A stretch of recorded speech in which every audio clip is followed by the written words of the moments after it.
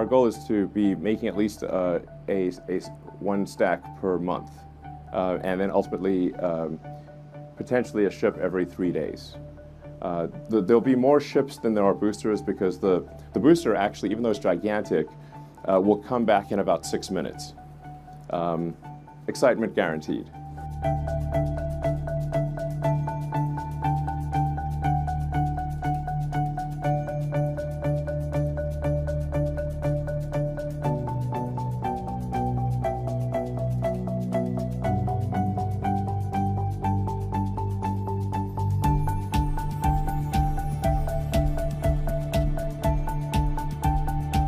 Fast forward like two or three years from now, I, I think it's highly likely to be everything included, less, less than $10 million a flight for 100 ton to orbit capability.